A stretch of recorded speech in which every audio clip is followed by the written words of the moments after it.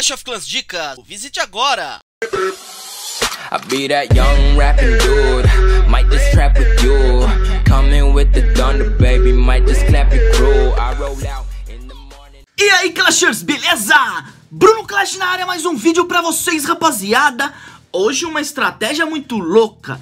Aprenda a meter 100% em CV9 sem utilizar nenhum feitiço, mano. Sim, eu disse sem utilizar nenhum feitiço. E não me venham com papagaiadas porque o ataque foi top, mano. Então já fica de olho aqui do lado, tá rolando pra vocês aqui, ó.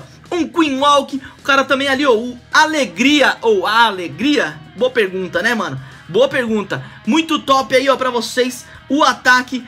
Alegria atacando, muito show de bola, pura alegria. Muito bom, né? É isso daí, rapaziada.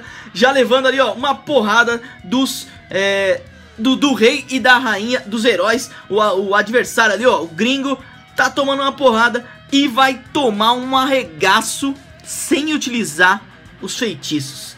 Malandro, esse ataque foi top, mano. Esse ataque foi top. Quer aprender a atacar assim? É só seguir os passos do Alegria ou da Alegria? Boa pergunta, né, mano? Cê é louco. Eu sei que o negócio ficou louco mesmo. O bagulho é doido mesmo, mano. Haha, moleque. É isso daí. O ataque tá comendo solto aqui. A rainha tá destruindo tudo aqui pelo lateral esquerda. O rei lá em cima levou bastante edifício, já conseguiu destruir bastante coisa. E aí ele coloca uns maguinhos pra dar uma ajuda também, né? Você tá vendo aí no replay que ele coloca alguns magos por fora e o mago não toma dano, porque a rainha tá, tá chamando todas as defesas. Ele solta ali, ó, na sequência, alguns lava rounds, é, dois balões de dois em dois ali, ó, 2, 4, 6, 8, 10, 12 lá em cima com lava rounds na frente e aí as defesas aéreas acabam pegando somente os lava rounds, não dando muito problema para os balões. Metade da vila já foi pro saco com os heróis, a outra metade, a parte mais forte, acabou ficando lá, ó, com as Teslas. Nesses ataques as Teslas são as mais perigosas, porque como você não tá com feitiços, você tem que ser muito rápido e tem que dar uma sorte de pegar uma vila bem montada para isso. Então, analise a vila antes de fazer isso. Mas é uma ótima ideia. Olha que ataque. É arriscado, é arriscado.